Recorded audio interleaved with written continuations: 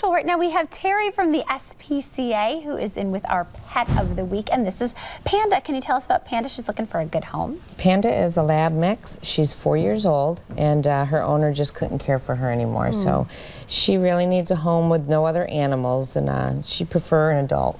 Okay, how is children. she? Okay, so kids yeah, no, so we don't recommend kids. She's a big girl.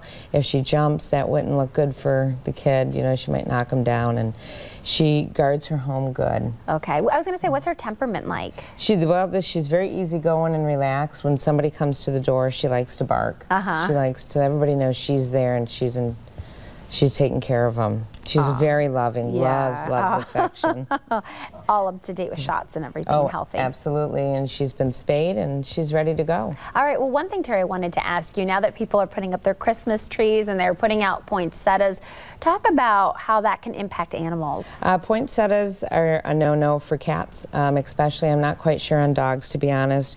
I certainly wouldn't put one in a home with cats okay. at all. It's not good for them. And trees are going to be, uh, according to your dog, this year I'm putting a very small tree up because I have a seven-month-old puppy. So oh, okay. um, rather than stress, we just put a small tree up. And quickly, what about sometimes people want to give somebody a pet as a gift, and that's not recommended? I don't recommend that. I think uh, the the person with getting the pet should pick yes. their own pet out or let their pet pick them. Um, we do not, we adopt to the person mm -hmm. that's going to own the dog.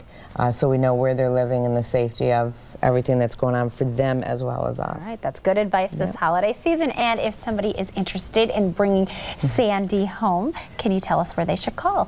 You can call for Panda at 454 4479. Panda. I am sorry, Panda. I kept wanting to That's call okay. Panda Sandy. okay. Panda. Well, we hope that you get a great home this holiday season. Thank you.